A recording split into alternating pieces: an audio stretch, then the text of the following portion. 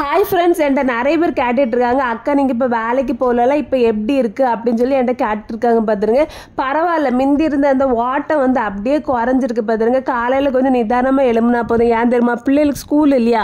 அப்போ நான் கொஞ்சம் பிந்தி எலும்பு காப்பி போட்டு உள்ள சாப்பாடை செஞ்சு சாப்பிடுறது.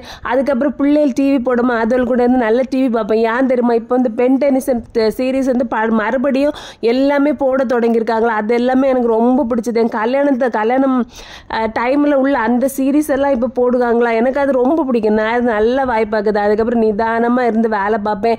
அப்படியே இருப்பேன். ஏதாவது பண்டம் இருந்துச்சுன்னா கையில் எடுத்து வச்சு நல்லா தின்னுறது கதை விடுறது மத்தியானம் கொஞ்சம் நேரம் டைம் கிடைச்சா தூங்குறது அப்புறம் உள்ள வேலையை பார்க்குறது அப்புறம் சும்மா இருக்கக்கூடிய நேரத்தில் யோசிப்பேன். நீ அடுத்து நம்ம என்ன செய்கிறது வேலையை விட்டாச்சுலாம் அதுக்கப்புறம் வீட்டில் இருந்து என்ன செய்கிறது அதுக்கப்புறம் யூடியூப்காண்டி யூடியூப் காண்டி என்ன செய்கிறதுன்னு யோசிக்கிறது. அப்படி நிறைய விஷயம் அப்படி ஓடும். வெளியில் ஏதாவது வேலை இருந்தால் போகிறது நுள்ளி விலைக்கு போகிறது அம்மா அம்மாட்ட பேசுறது அப்படி சும்மா ஏதாவது இருந்தால் அப்படி பார்த்துட்டு எடுத்துட்டு அப்படியே நேரம் போகுது. என்னச்சு? அப்படிதான்.